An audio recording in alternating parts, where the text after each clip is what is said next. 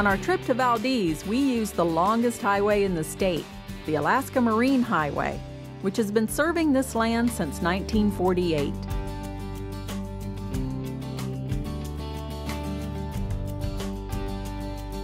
The Alaska Marine Highway began in Haines as a privately owned ferry company back in 1948. The government bought the business in 1951 and expanded its capabilities.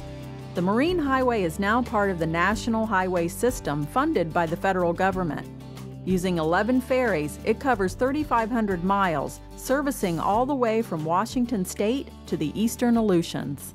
Unlike the vacation focus of the many cruise liners that use these same waters, the ferry system has found its niche in basic transportation.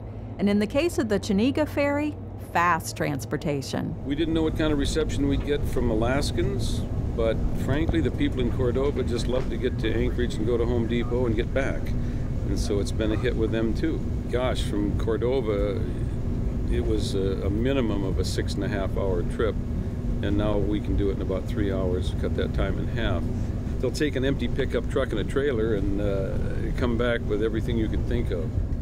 Even when the tourists are hot and heavy, I'd say we've got about half locals on here because it's summer for them too and they've got stuff going on and they want to get it done. The Chenega is one of two fast ferries on the Alaska Marine Highway. Even though it can hold 36 cars, trucks, and campers, this boat can fly. It's 235 foot, all aluminum catamaran with uh, four 5,000 horsepower engines that are coupled to jets. Fastest I've seen this boat go is 46 and a half knots, which is 50, 56 miles an hour, somewhere in there. We were light on fuel during a training op, and um, we had the wind behind us, and it was pretty neat, pretty fast. Love the speed. Can't go wrong with speed.